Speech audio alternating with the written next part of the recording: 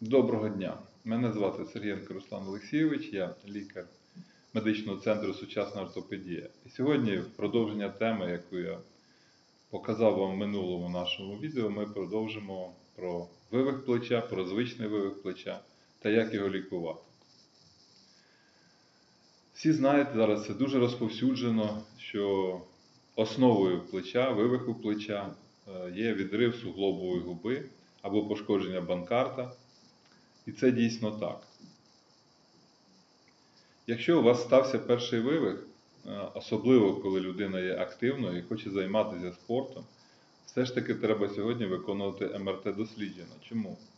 Тому що на ньому можемо точно знати, чи будуть у нас в подальшому вивихи, чи все загоїться без операції. Якщо ми на МРТ-дослідженні бачимо, що суглобова губа, хоч і є відірваною, але знаходиться на своєму місці, то тоді достатньо носити пов'язку. Таким чином, як показано зараз на цьому слайді, вона повинна накладатись в нейтральній або навіть невеликій зовнішній ротації в 15 градусах відведення протягом 4 тижнів. Таким чином, весь цей період протягом 4 тижнів ми утримуємо нашу відірвану губу біля лопатки, і в подальшому вона приростає і ніяких рецидивів у нас не виникає. Якщо ж відірвана губа змістилась медіально, тобто вона змістилась досередини, знаходиться не на своєму місці, так, тоді потрібно все ж таки робити операцію. Чому? Тому, тому що коли вона зростеться в такому положенні, ми будемо отримувати нестабільність, тобто відчуття, що голівка зміщується, або навіть повторні вивихи. Повторні вивихи можуть привести до звичного вивиху плеча. Тобто, коли у людини виник один, два, три вивихи протягом року, це повторні вивихи. Якщо ж вивих плечової кістки відбувається кожного дня, чи раз у місяць, чи більше трьох разів, може відбуватись навіть вночі, навіть без будь-якого навантаження, ця ситуація називається звичним вивихом плеча. За рахунок чого воно відбувається? За рахунок того, що у людини під час першого вивиху виникло не тільки відрив суглобової западини, від суглобової западини лопатки губи, а також сформувався так званий імпакційний дефект, тобто вибоїна на задній поверхні голівки, яка утворилась під час перескакування голівки через гострий передній край лопатки. Це називається дефект Хілсакса. В даному випадку ми також можемо е, розглядати питання оперативного лікування, е, тобто консервативно ми тут вже пацієнту не допоможемо. Ми маємо робити щось із суглобовою губою, а власне пришивати її, і заміщати дефект, тобто заповнювати дефект на голівці плечової кістки за допомогою техніки, яка називається ремплісаж. Тобто ми підшиваємо туди сухожилки і капсули, які в нормі знаходяться трошки далі. Таким чином ми обмежуємо зовнішню ротацію, тобто при зовнішній ротації голівка плеча доходить до місця ремплісажу і гальмується об задній край суглобової западини лопатки. Це дещо обмежує зовнішню ротацію плеча, але унеможливлює також і вивих. Зараз дуже розповсюджені операції на плечі власне з використанням якорів. Проте не всі, не всім пацієнтам і не у всіх випадках ми можемо допомогти вилікувати звичне вивих плеча за допомогою лише якірної фіксації. По суті, якірна фіксація робиться лише на незміненій анатомії плеча, тобто коли є відрив лише м'яких тканин, які ми можемо рефіксувати, поставити їх на місце, вони загоються і буде все, як було до того. Але коли ми бачимо, що у хворого є перелом суглобового краю лопатки, не лише відрив губи, але й перелом. Є відрив не від губи е, западної лопатки, а відрив капсули власне, від голівки плеча яке технічно неможливо перешити. Також є комбінація перелому лопатки та великого дефекту хілсакса. Або навіть ізольований великий дефект хілсакса ми маємо думати про виконання операції латарже. Таким чином, на сьогодні легальних або таких загально вживаних у світі технологій лікування звичного вивиху всього-навсього три. Перша це операція банкарта під артроскопічним контролем або відкрито. Друга операція це операція банкарта, яка комбінується з операцією ремплісаж, про що я казав раніше. І третя операція це кістково-пластичні операції, найширше розповсюджена операція латарже.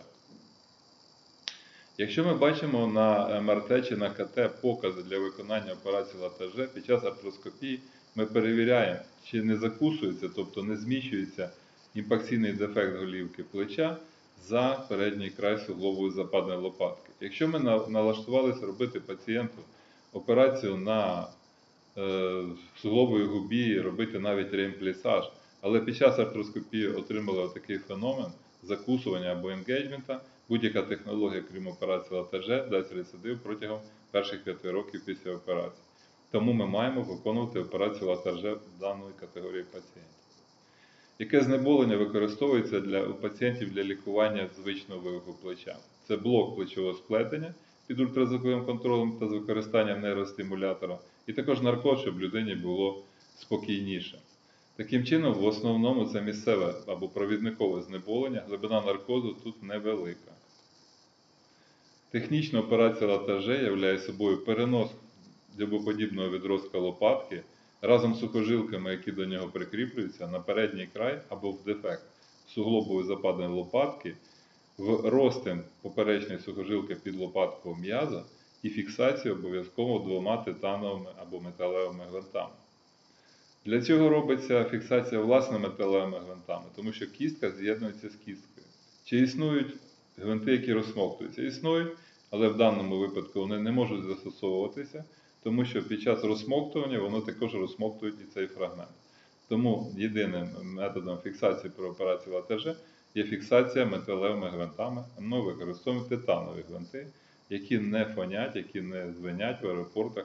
Ніхто вас зупиняти не буде, вони інертні і ніхто їх ніколи не видаляє. Хоча багато пацієнтів питають, чи можу я видалити, я можу видалити, але ніхто з них не звертається.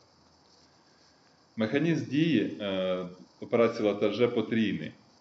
Потрійний, перше, чим е, сухожилки, які використані під час транспозиції, формують гамак-ефект. Тобто, чим більше людина відводить руку назовні, тим більше ці сухожилки спротивлюються передньому зміщенню, тобто вивиху.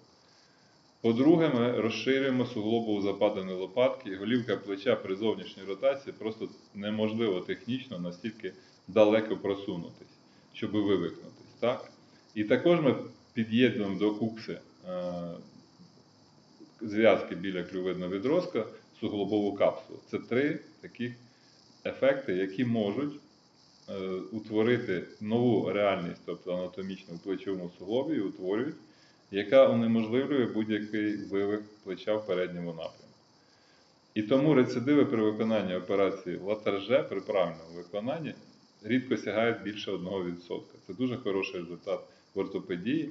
І що е, ще важливо, що операція латарже не дає ніяких обмежень рухів, тобто зовнішньої ротації, як, наприклад, банкартер імплісаж, цього тут немає. Що ж в післяопераційному періоді? Е, Після того, як ми проводимо операцію латарже, у нас вона виконується без розрізу, тобто через проколи, 5 проколів в зоні плеча, один спереду, один ззаду і 4 спереду. Використовується фіксація руки таким чином, як показано на знімку. І ця е, пов'язка використовується при пересуванні вулицею або в, транспорті, або під час сну. Якщо людина знаходиться вдома в свідомості, рука не болить, вона може навіть друкувати, їсти, користуватись тобто рукою в побутових справах.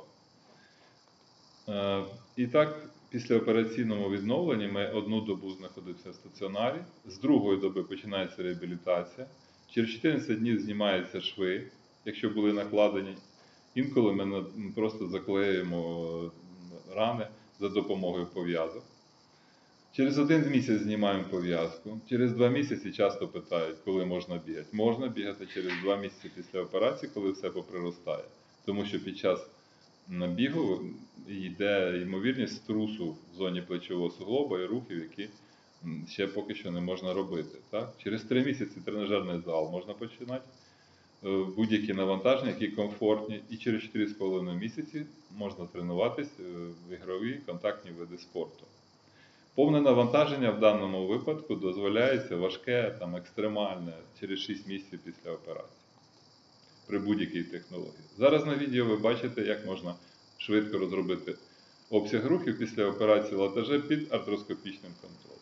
Тобто через 2 місяці ми бачимо у людини майже повний обсяг рухів.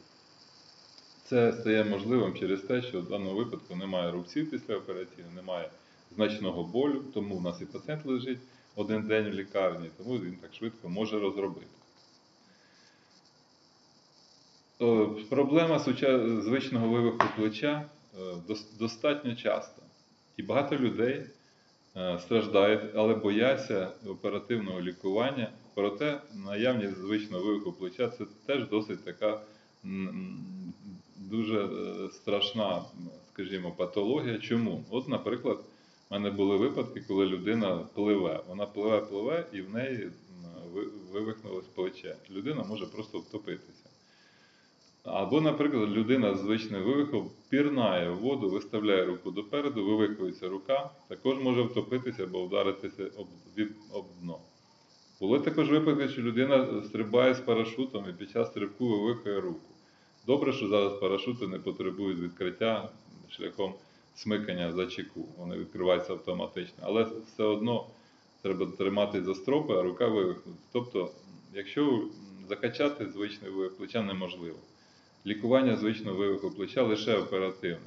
Технології, які я вам про які сьогодні розповів, всього-навсього три. Вони е, застосовуються шляхом селективного підходу до пацієнтів. Для кожної групи пацієнтів підходить одна методика.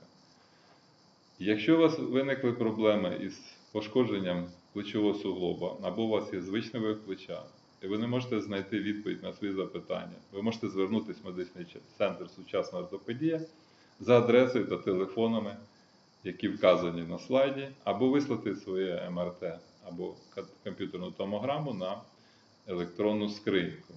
Дякую вам за увагу. Бажаємо вам всім здоров'я. До побачення.